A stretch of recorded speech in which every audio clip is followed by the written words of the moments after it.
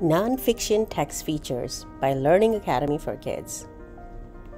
What are text features? Text features are the different parts of a nonfiction text other than the main story itself. Text features are the things found in nonfiction materials that help you make sense of what you're reading. These text features can also help you decide which pieces of information are most helpful to you. Text features help organize and show information. Authors use special text features to make information easier to understand. Let's take a look at some of the example of the text features.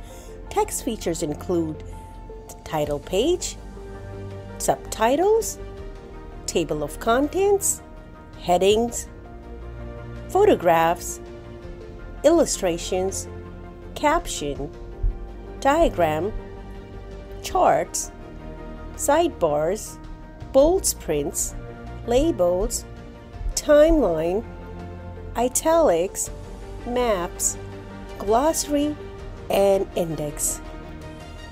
For the text feature of the title page, the title page is found at the front of the book. It informs the reader of the title, author, illustrator, and publisher. Subtitles tell more about the title. The words are in the smaller print. They usually are underneath the title. Table of contents are found at the beginning of the book. It lets people know what page each section or chapter begins. Photographs are the real picture of things. Illustrations are drawings. Sometimes real photographs aren't available. A diagram is a simple drawing which shows the parts or functions of something. Captions have information near or below a photograph or illustration. They tell you more about the picture. Labels identify the parts of something, they tell you what the part is called. Charts organizes information so it can be seen in a new way. Graph also organizes information so that it can be seen. Map shows where something is in our world.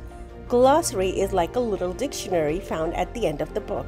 It provides the definitions for keywords found in that specific book. Index is found at the end of the book. It includes keywords in alphabetical order. There will also be a page number to signal where that keyword can be found in the book. Authors use text features to help readers to visual what the author is talking about. It also provides a better understanding of a new topic.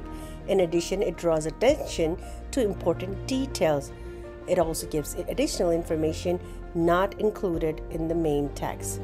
Let's review Nonfiction text features.